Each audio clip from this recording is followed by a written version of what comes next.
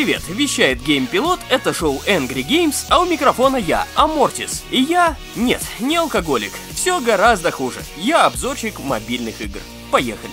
Сегодня у нас довольно странный гость, дать какое-то точное определение которому я пока затрудняюсь. Возможно, к концу обзора мы с тобой определимся, а пока встречаем. Игра Ковинский. И она какая-то странная, но бесспорно стильная. Вообще-то, по большому счету, эта игра это такая большая реклама музыкального альбома некоего француза с польской фамилией. Его зовут, как ты, наверное, уже догадался, Ковинский, и он пишет музыку с закосом под лихие 80-е голливудского кино. Но поскольку господин Ковинский мне за рекламу не платил, сегодня речь пойдет не о музыке, а все же об игре.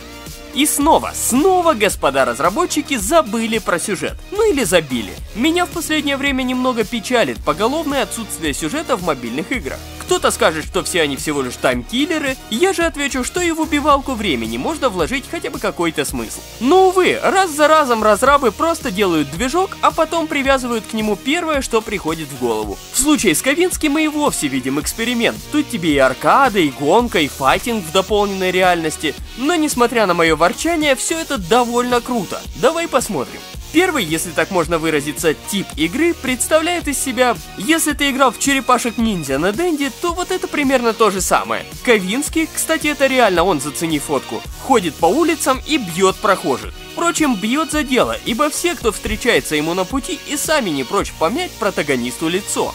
Бегаем мы джойстиком, который слева, а бьем кнопками, которые справа. Ударов всего два, рукой и ногой. Правда, поизбивая чуваков и начитавшись эротических журналов, разбросанных по уровню, можно впасть в дикий угар и провести комбо из множества быстрых ударов. Ну а если здоровья осталось мало, значит пришло время пошариться по мусоркам. В них спрятаны пачки сигарет и аптечки, ведь курение вещь полезная.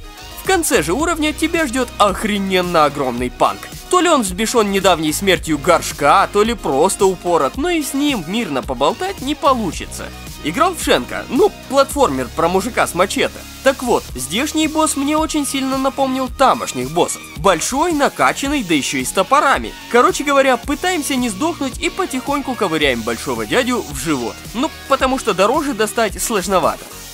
Потом идет дополненная реальность. Честно говоря, я себе плохо представляю, зачем это сделано, но, видимо, просто разрабам хотелось потестить, как это будет работать. Наводишь камеры своего телефона на какую-нибудь поверхность и начинается замес. На поверхности стоит тачка Ковинский, рядом он сам, а на тачку покушается всякий сброд. Возможно, ребята из Стопхама, а возможно, обычная гопота. Ковинский как-то пофиг, кто есть кто, и он бьет всех, кто окажется рядом, защищая свою тачку. Кстати, уровень можно и скипнуть.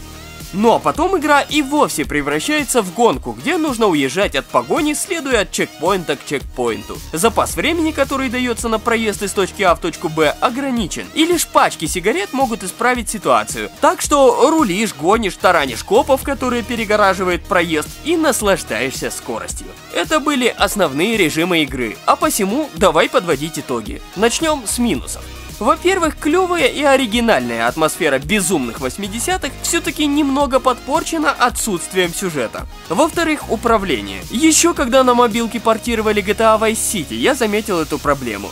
Джойстик джойстиком, но в рукопашном бою сложновато прицелиться, и половина ударов уходит куда-то в воздух. Впрочем, у меня руки растут из жопы, так что может быть такой проблемы вовсе и не существует. Теперь плюсы. Игра крутая. Крутая такой олдскульной крутостью, как Жан-Клод Ван Дам и прочие ребята, которые били морды всем подряд на экране телевизора, когда я был чуть меньше. Так что, в общем, несмотря на ощутимые минусы, впечатления остались приятные. Так что советую. На сегодня это все. Оценивай, комментируй, зови друзей. С тобой были Николай Подгурский и Федор Амортис. До скорого.